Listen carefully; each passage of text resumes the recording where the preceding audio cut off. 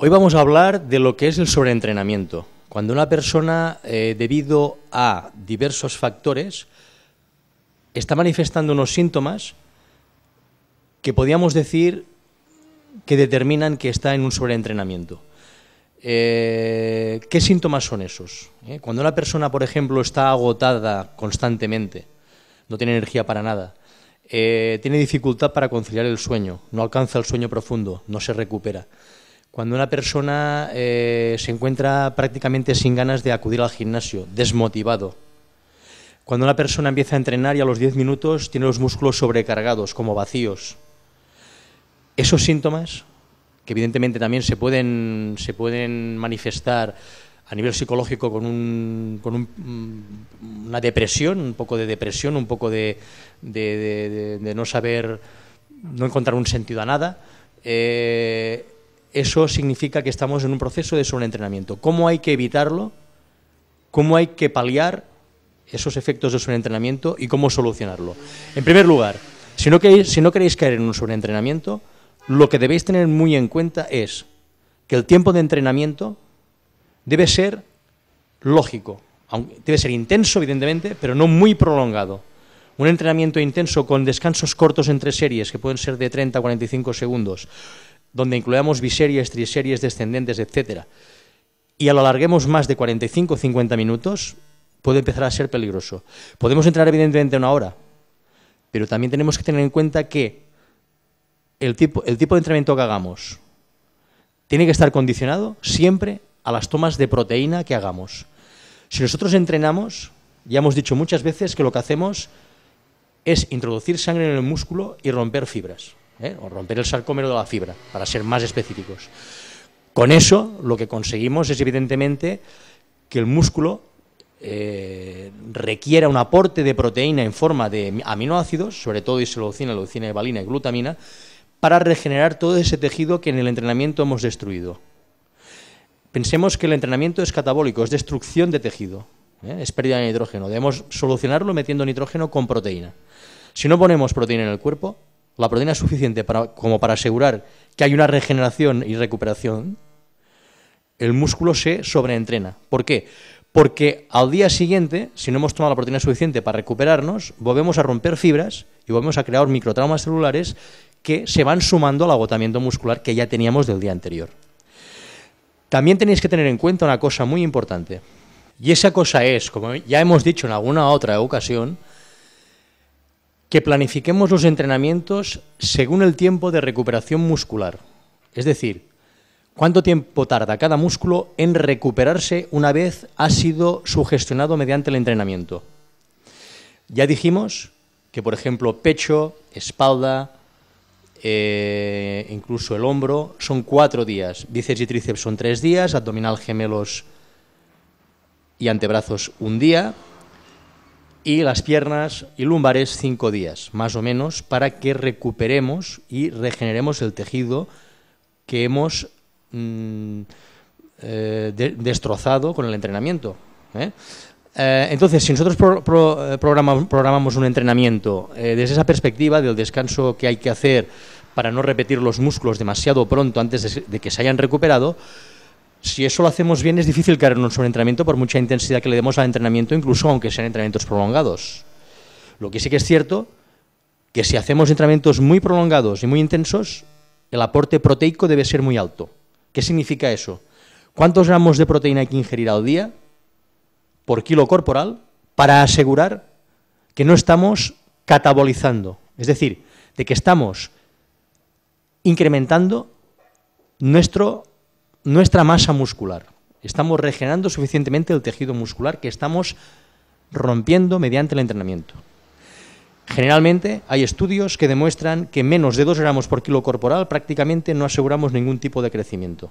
¿eh? Porque debemos tomar la proteína suficiente como para recuperar el tejido y si estamos bajos de hidratos, evidentemente hay que multiplicar un poco el tema de la, proteína e incrementar la toma de proteína para que haya la glucogénesis que nos produzca una entrada de glucógeno o de glucosa adicional porque no estamos prácticamente ingiriendo hidratos. Es decir, cuando estamos en un proceso de dieta catabólico con, bajas tomas de hidratos, en ese momento la toma de proteína puede estar entre 2 gramos y medio, incluso 3 gramos por kilo corporal al día.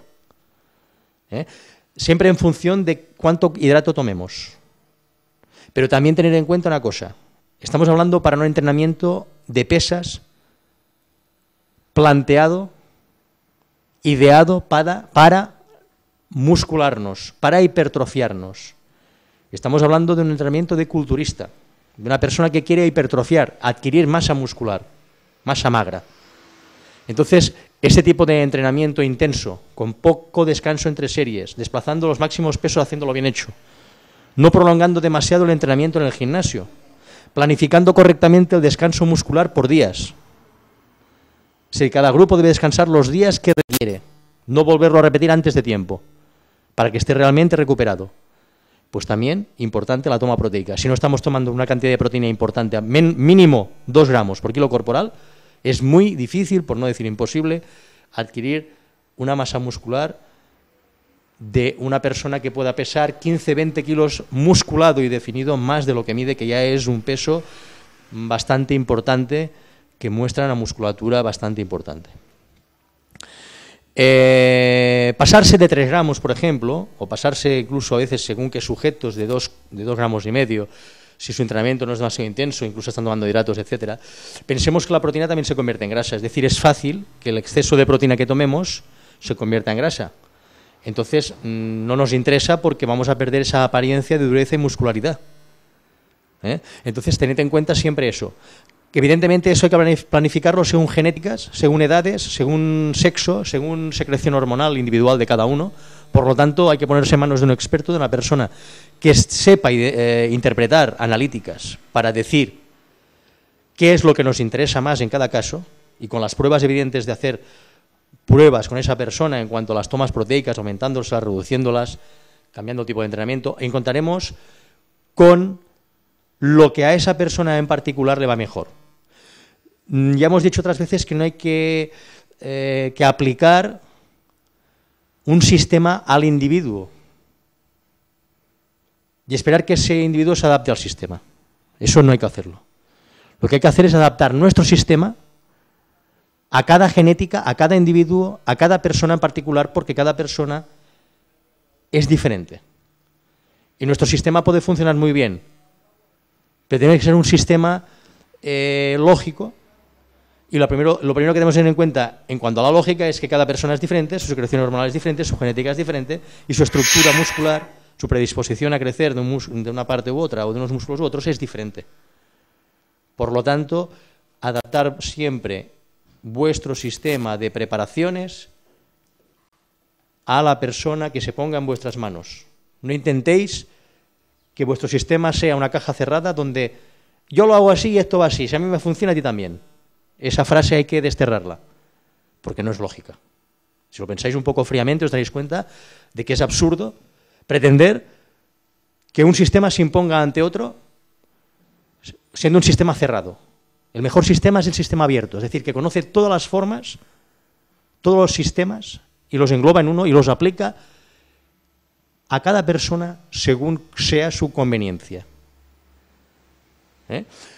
A partir de ahí, eh, cuando os deis cuenta de que tenéis pocas ganas de ir al gimnasio, cuando os deis cuenta incluso de que no tenéis apetito, cuando os deis cuenta de que no dormís correctamente, de que es imposible conciliar el sueño, a pesar de que estáis agotados, cuando os deis cuenta que vais al gimnasio forzados y que estáis entrenando 10-15 minutos y no sentís el músculo, estáis vacíos.